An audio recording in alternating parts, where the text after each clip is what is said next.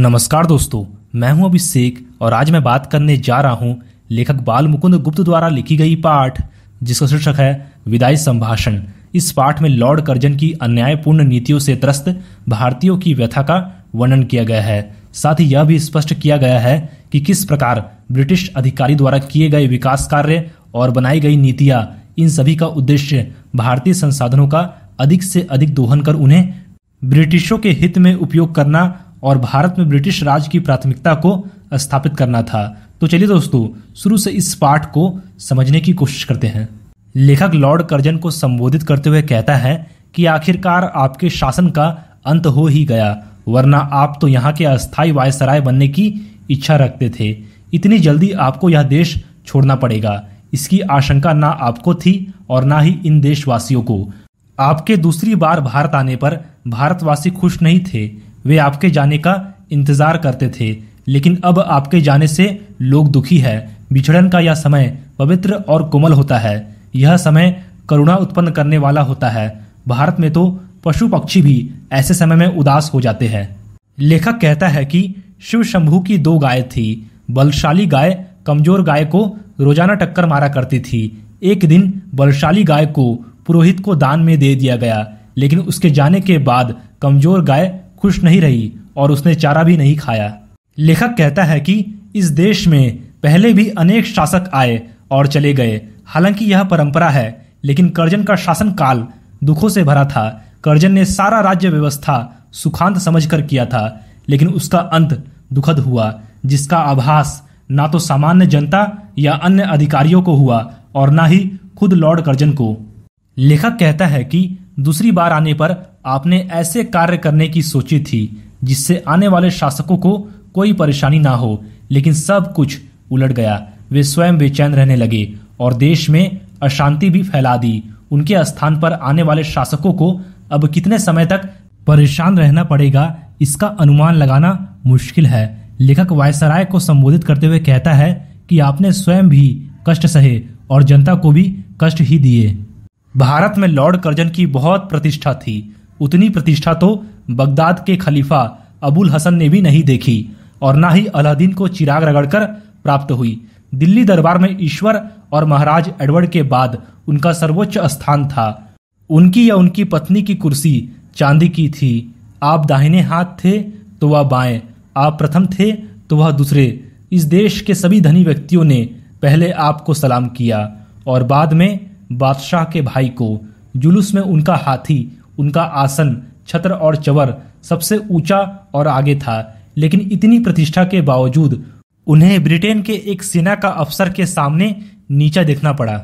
Curzon ने council में गैर कानूनी कानून पास करके और कन्वोकेशन में अनुचित भाषण देकर भारत में अपनी शांत स्वभाव वाली छवि को तो समाप्त किया ही, साथ ही विलायत में बार बार इस्तीफा देने की धमकी के कारण उनका इस्तीफा स्वीकार करके उन्हें नौकरी से भी निकाल दिया गया। अभी तक भारत में उनके इशारों पर ही हाकिम या राजा महाराजा कार्य किया करते थे। उनकी इच्छा पर ही बहुत से राजा पदाधिकारी बना दिए गए और बहुत से लोगों से उनका राज्य छीन लिया गया। उन्हीं के इशारों पर देश की शिक्षा और स्वतंत्रता नष्ट हो गई। उन्होंने ही बंगाल के विभाजन की योजना बनाई, लेकिन उनके अपने ही देश में उनके कहने पर एक फौजी अफसर नियुक्त नहीं हो सका। इसी वजह से उन्हें पद से इस्तीफा देना पड़ा। लेखक लॉर्ड कर्जन से कहता है कि आपका मनमाना शासन लोगों को हमेशा याद रहेगा। आप ऊपर चढ़कर गिरे हैं, लेकिन गिर कर पड़े रहना अधिक दुखी करता है। आपको एक मामूली से क्लर्क के सामने नोटिस दे दिया गया था। ऐसे समय में व्यक्ति अपने आप से घृणा करने लगता है। आपकी दयनीय स्थिति को जानने का अवसर भारतीयों को नहीं मिला, लेकिन आपकी दशा से वे स्वयं आश्चर्यचकित थे। यदि आप अपने कामों पर ध्यान दें तो आपने कभी भी प्रजा के हित की सोची ही नहीं। शासन करने का यह तरीका नहीं है। आपने हर काम अपनी जिद से पूरा किया। आपने कभी भी प्रजा को अपने सामने ही नहीं आने दिया। नादिर शाह ने भी आसिफ जहा के द्वारा प्रार्थना करने पर कत्लेआम रोक दिया था। लेकिन आपने आठ करोड़ जनता की प्रार्थना पर बंगाल विभाजन रद्द करने का फैसला नहीं लिया। अब आपका जाना निश्चित है। आपकी बात ना मानने पर आप नौकरी छोड़ रहे हैं। लेकिन आपने प्रजा की कोई बात नहीं मानी तो वे कहाँ जाकर अपना दुख व्यक्त करे? आपकी जिद की वजह से इस देश की जनता और स्वयं आप भी भुगत रहे हैं। लेकिन यहाँ जनता यह मानती है कि समय परिवर्तनशील है, सभी चीज़ों का अंत निश्चित है, दूसरों के अधीन होने की अवस्था का यह समय भी बीत जाएगा। इस दयालु प्रजा की दयालुता को न पहचान कर आप खाली हाथ ही लौट गए। लॉर्ड कर्जन इस देश के शिक्षितों को तो देख ही नहीं सके। लेकिन कभी कभी वे इस देश की जिस अनपढ़ जनता का नाम अपने मुँह से उच्चारित कर लिया करते थे, वही अनपढ़ प्रजा आज नर सुल्तान नाम के एक राजकुमार की महिमा का गीत गाती है। उस राजकुमार ने अपनी विपत्ति के दिन नरवरगढ़ नाम के राज्य में बिताए थे।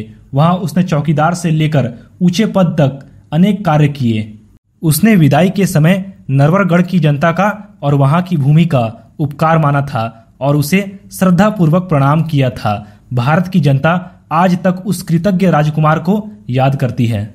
लेखक लॉर्ड कर्जन से पूछता है कि यदि वे विदाई संभाषण देंगे मतलब विदाई की बातचीत करेंगे तो क्या कहेंगे? यही कि मैंने तुम्हारा शोषण करके ऐशो आराम से अपना जीवन जिया। मैंने हर एक क्षण तुम्हारा अहित करने का प्रयास किया, लेकिन अब सामर्थ्यहीन होने के कारण कुछ नहीं कर सकता। फिर लेखक कर्जन से पूछता है कि क्या आप भारत के प्राचीन गौरव और यश को फिर से जगाने की कामना प्रकट कर सकते हैं। लेखक को विश्वास है कि यदि कर्जन ने ऐसा किया तो यहाँ की जनता उनकी गलतियों को क्षमा कर देगी। लेकिन लॉर्ड करजन में इतनी दयालुता नहीं है। तो दोस्तों, इस वीडियो को लाइक और शेयर करके आप हमारा आत्मविश्वास बढ़ा सकते हैं। और हमारे चैनल पर पहली बार आए हैं तो चैनल को सब्सक्राइब ज़रूर करें। धन्यवाद।